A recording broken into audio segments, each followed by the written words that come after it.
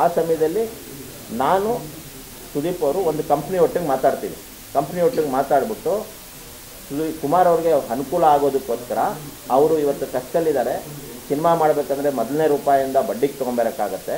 ಇವತ್ತು ಬಡ್ಡಿಗೆ ತೊಗೊಂಬಂದು ಸಿನಿಮಾ ಮಾಡೋದು ಎಷ್ಟು ಕಷ್ಟ ಇದೆ. ರಿಲೀಸ್ ಹಿಂದೆ ಆಗುವಂಥ ತೊಂದರೆಗಳು ಏನು ಎತ್ತ ಬೇರೆ ಬೇರೆ ನಿರ್ಮಾಪಕರುಗಳು ಅನುಭವಿಸಿರೋದೆಲ್ಲ ನೋಡಿ ಆ ಕಂಪ್ನಿ ಹತ್ರ ಒಂದು ಮಾತಾಡ್ತೀವಿ. ಮಾತಾಡಿ ಒಂದು ರೇಟಿಗೆ ಫಸ್ಟ್ ಕಾಪಿ ಮಾಡಿಕೊಡೋದು ಅಂತ ಒಂದು ಅಗ್ರಿಮೆಂಟ್ ಮಾಡ್ಕೊಳ್ಳೋಣ ಅಂತ ಓರಲಾಗಿ ಡಿಸ್ಕಷನ್ ಮಾಡ್ತೀವಿ.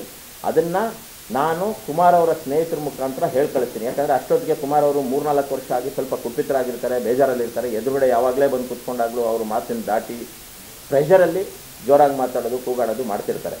ಮಾಡಬೇಕು ಅನ್ನೋ ಉದ್ದೇಶಪೂರ್ವಕವಾಗಿ ಮಾಡ್ತಿದ್ದಾರೆ ಅಂತ ಖಂಡಿತ ನಾನು ಕುಮಾರ್ ಅವ್ರ ಬಗ್ಗೆ ಹೇಳ್ತಲ್ಲ. ಅವ್ರು ನೋವಲ್ಲಿದ್ದಾರೆ. ಆ ನೋವಲ್ಲಿ ಪ್ರೆಷರಲ್ಲಿ ಸ್ವಲ್ಪ ಜೋರಲ್ಲಿ ಮಾತಾಡೋದು, ಕೂಗಾಡೋದು, ಇದೇನು ಸರ್ ಅದೇನು ಸರ್ ಅನ್ನೋದು. ಮೀಟಿಂಗ್ ಅಂತ ಕುತ್ಕೊಂಡಾಗ ಫ್ರೂಟ್ಫುಲ್ಲಾಗಿ ಎಂಡ್ ಆಗ್ತಾ ಇರಲ್ಲ.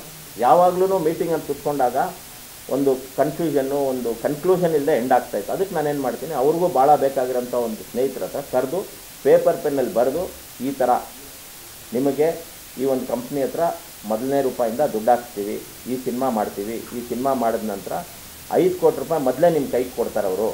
ಆ ಐದು ಕೋಟಿ ಕೊಟ್ಟಾದ ಮೇಲೆ ಫಿಫ್ಟಿ ಫೈವ್ ಕ್ರೋರ್ಸ್ ಮೇಲೆ ಏನು ಬಿಸ್ನೆಸ್ ಆಗುತ್ತೆ? ಆ ಬಿಸ್ನೆಸ್ಸಲ್ಲಿ ತರ್ಟಿ ಪರ್ಸೆಂಟ್ ನಿಮಗೆ ಬರುತ್ತೆ ಸೆವೆಂಟಿ ಪರ್ಸೆಂಟ್ ಅವ್ರಿಗೆ ಹೋಗುತ್ತೆ. ಯಾಕಂದರೆ ಅವ್ರು ಮೊದಲನೇ ರೂಪಾಯಿಂದ ದುಡ್ಡು ಹಾಕಿರ್ತಾರೆ, ಬಡ್ಡಿ ಕ್ಯಾಲ್ಕುಲೇಟ್ ಮಾಡಲ್ಲ ಇದರಲ್ಲಿ ಅಂತ ಹೇಳಿಬಿಟ್ಟು ಇದು ಒಂದು ಅನುಕೂಲ ಆಗುತ್ತೆ ಅಂತ ಹೇಳ್ತೀವಿ. ಅದನ್ನು ಅವರು ಅವ್ರು ನಮ್ಮ ಅವ್ರಿಗೂ ನನಗೂ ಮಧ್ಯೆ ಇರೋಂಥ ಸ್ನೇಹಿತರು ಹೇಳಿದಾಗ ಆಯಿತು ಅಂತ ಒಪ್ಕೊಂಡು ಹೋಗ್ತಾರೆ ಪಾಪ. ಅಂದರೆ ಅವ್ರು ಒಪ್ಕೊಳ್ತಾರೆ ಅದಾದ ನಂತರ ಇದೇ ಆಫೀಸ್ಗೆ ಕುಮಾರ್ ಅವರು, ಅವ್ರ ಮಗ ಮತ್ತು ಅವ್ರ ತಮ್ಮ ಬರ್ತಾರೆ. ಬಂದು ಹಿಂಗೆ ಮಾತಾಡ್ತಾ ಇರುವಾಗ ಅಲ್ಲಿ ಒಪ್ಕೊಂಡವರು ಏನಕ್ಕೆ ಡಿಸ್ಕಷನ್ ಆಯಿತು ಅನ್ನೋ ಗೊತ್ತಿಲ್ಲ. ಮಾತಾಡ್ತಾ ಮಾತಾಡ್ತಾ ಹೆಂಗಾಗುತ್ತೆ ಸರ್? ನಾನೇ ಸಿನಿಮಾ ಮಾಡಲ್ಲ, ನಾನು ಮಾಣಿಕ್ಯ ಮಾಡಿದ್ದೀನಿ ದೊಡ್ಡ ದೊಡ್ಡ ಸಿನಿಮಾ ಮಾಡಿದ್ದೀನಿ ಇನ್ನೊಬ್ರು ಯಾಕೆ ದುಡ್ಡು ಹಾಕ್ಬೇಕು? ನಾನು ಹಾಕ್ತೀನಿ, ನಾನು ಎಲ್ಲೋ ತರ್ತೀನಿ, ನಾನು ವ್ಯವಸ್ಥೆ ಮಾಡಿದ್ದೀನಿ ಇನ್ನೊಂದು ಮತ್ತೊಂದು ಅಂತೇಳಿ ಕಿರ್ಚಾಡ್ಕೊಂಡು ಬೇಜಾರು ಮಾಡ್ಕೊಂಡು ಹೋಗ್ತಾರೆ.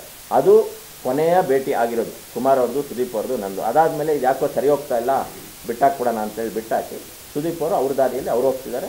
ಇವರು ಕೈಗೆ ಸಿಗಲಿಲ್ಲ ಅನ್ನೋದರಲ್ಲಿ ಚೇಂಬರ್ಗೆ ಹೋಗ್ತಾರೆ, ಚೇಂಬರ್ಗೆ ಹೋಗಿ, ಚೇಂಬರ್ಗೆ ಏನೋ ಲೆಟ್ರ್ ಬರೀತಾರೆ. ಚೇಂಬರಿಂದ ಬಂದಂಥ ಲೆಟ್ರಿಗೆ ನಾವು ಕಳಿಸಿದ್ದೀವಿ ಇದೆಲ್ಲದನ್ನು ಇಟ್ಕೊಂಡು ಯಾತಕ್ಕೆ ನಾವು ಕಾನೂನಿನ ಹೋರಾಟಕ್ಕೆ ಹೋಗಿದ್ದೀವಿ ಅನ್ನೋದನ್ನು ವಿವರಣೆ ಕೊಟ್ಬಿಡ್ತೀನಿ. ಚೇಂಬರ್ ಅನ್ನೋದು ಅವ್ರಿಗೆ ನಾಲ್ಕು ಜನ ಪರಿಚಯ ಇದ್ದಂಗೆ ನಮಗೂ ನಾಲ್ಕು ಜನ ಪರಿಚಯ ಇರ್ತಾರೆ. ಸುದೀಪ್ ಅವರು ಒಂದು ನಿರ್ಮಾಪಕರಾಗಿದ್ದಾರೆ ಅಲ್ಲಿ, ಮುಖ್ಯವಾಗಿ ಆ್ಯಕ್ಟರ್ ನೆಕ್ಸ್ಟ್, ಫಸ್ಟ್ ಪ್ರೊಡ್ಯೂಸರ್. ಅಲ್ಲಿ ಏನಾಗ್ತಾ ಇದೆ ಅಂದರೆ ಪ್ರೊಡ್ಯೂಸರ್ ಅನ್ನೋ ಗಣನೆ ತೊಗೊತಾ ಇಲ್ಲ. ಒಂದು ಆ್ಯಕ್ಟ್ರು ಅವ್ರಿಗೇನೋ ಎಲ್ಲ ಇದೆ, ಇನ್ನೊಂದಿದೆ, ಮತ್ತೊಂದಿದೆ, ನಿರ್ಮಾಪಕ ತೊಂದರೆಲಿದ್ದಾನೆ ಅವ್ರಿಗೆ ಸಹಾಯ ಮಾಡಬೇಕು, ಕೊಟ್ಬಿಡ್ಬೇಕು ದುಡ್ಡು. ಸಂಧಾನ ಅಂದರೆ ಏನು? ಅವ್ರು ದುಡ್ಡು ಕೊಟ್ಬಿಡಿ ಅನ್ನೋದೇ ಫೈನಲ್ ಆಗುತ್ತೆ. ಆದರೆ ಅವ್ರು ಮಾಡಿರೋಂಥ ಆಪಾದನೆಗಳು ಸಮಾಜದಲ್ಲಿ ಹತ್ತಾರು ಜನದಲ್ಲಿ ಹೇಳಿದಾಗ, ಇವತ್ತಿನ ದಿನ ದುಡ್ಡು ಕೊಟ್ಟಂಥ ಸಮಯದಲ್ಲಿ ಏನಾಗುತ್ತೆ, ನಾನು ತಪ್ಪು ಮಾಡಿದ್ದೀನಿ ದುಡ್ಡು ಕೊಟ್ಟಿದ್ದೀನಿ ಅನ್ನೋ ಭಾವನೆ ಬರುತ್ತೆ. ಇದು ಯಾವತ್ತೂ ಬರಬಾರ್ದು. ಕಳಂಕ ಆಗಬಾರ್ದು. ಸಹಾಯ ಅಂತ ಬಂದಿರೋದು, ಕಷ್ಟ ಅಂತ ಬಂದಿರೋದು, ತೊಂದರೆ ಆಗಿದೆ, ಅದನ್ನು ಸರಿಪಡಿಸೋಣ ಅಂತ ಬಂದಿರೋದು, ಅದೇ ರೀತಿ ಇರಬೇಕು. ನಾನೇನಾದರೂ ಕೊಡಬೇಕು ಅನ್ನೋದು ನಿಜಾನೇ ಆಗೋದಾದರೆ, ಕಾನೂನಾತ್ಮಕವಾಗಿ ಕೋರ್ಟಲ್ಲಿ ನಾವು ಕೊಡೋಕ್ಕೆ ಎಲ್ಲ ತಯಾರಿದ್ದೀವಿ. ನಾಳೆ ಕೋರ್ಟು, ನೀವು ಕೊಡಬೇಕ್ರಿ, ಹತ್ತು ಕೋಟಿ ಕೊಡಿ, ಇಪ್ಪತ್ತು ಕೋಟಿ ಕೊಡಿ ಅಂದರೂ ಕೊಡೋಣ ಇವತ್ತು ಇಲ್ಲಿ ಬಂದು ಮಾತಾಡಿ ಕುತ್ಕೊಂಡು ಅನಾವಶ್ಯಕವಾಗಿ ನಾವೊಂದು ಮಾತು ಹೇಳ್ತೀವಿ, ಅವರೊಂದು ಮಾತು ಹೇಳ್ತೀವಿ. ಯಾವ ಮಾತಿಗೂ ಯಾವುದು ದಾಖಲೆಗಳಿರಲ್ಲ. ಚಿತ್ರರಂಗ ನಡ್ಕೊಂಬಂದಿರೋದೇ ಇದುವರೆಗೂ ಬಾಯಿ ಮಾತಲ್ಲಿ ಯಾವುದು ಅಗ್ರಿಮೆಂಟ್ ಇನ್ನೊಂದು ಮತ್ತೊಂದಿಲ್ಲ. ಅದೇ ರೀತಿ ಈ ರೀತಿ ಆಗೋದು ಬೇಡ ಅಂಥೇಳಿ ನಾವು ಕಾನೂನಾತ್ಮಕವಾಗಿ ಹೋಗೋಣ ಅಂತ ಕಳಿಸಿದ್ವಿ ಹೊರತು ಬೇರೆ ಯಾವುದೇ ರೀತಿ ಚೇಂಬರ್ಗೆ ನೋವು ಪಡಿಸ್ಬೇಕು ಚೇಂಬರ್ ಮಾತು ಕೇಳಬಾರ್ದು, ಕುಮಾರ್ ಅವ್ರಿಗೆ ನೋವು ಪಡಿಸ್ಬೇಕು ಕುಮಾರ್ ಅವ್ರ ಮಾತು ಕೇಳಬಾರ್ದು ಅನ್ನೋ ಯಾವ ವಿಚಾರನೂ ಇಟ್ಕೊಂಡು ನಾವು ಹೋಗಿಲ್ಲ. ಸೊ ಇಷ್ಟೆಲ್ಲ ಆಗುತ್ತೆ.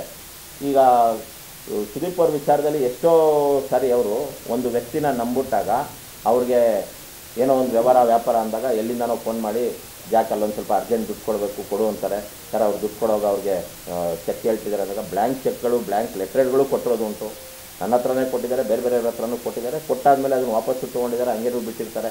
ಈ ರೀತಿಯಾಗಿ, ಆ ಅಪ್ಪ ಇದುವರೆಗೂ ನಂಬಿಕೆಗೆ ಇದು ಹಾಕ್ಕೊಂಡು ನಿಂತಿದ್ದಾರೆ. ಈ ಒಂದು ವಿಚಾರದಲ್ಲಿ ಏನಕ್ಕೆ ಗೊಂದಲ ನಿವಾರಣೆ ಆಗ್ತಾ ಇಲ್ಲ? ಆಗೋಂಥ ಹಂತ ಹೋಗಿ ಇನ್ನೇನು ಮುಗೀತು ಇದೇನೋ ಒಂದು ಸಾಲ್ವ್ ಆಗುತ್ತೆ ಅನ್ನೋದು ತಿರ್ಗಾ ದೂರ ದೂರ ಆಗಿದೆ ಅನ್ನೋದು ಅದು ಅರ್ಥ ಮಾಡ್ಕೊಳ್ಳೋಕ್ಕೆ ಆಗ್ತಾ ಇಲ್ಲ.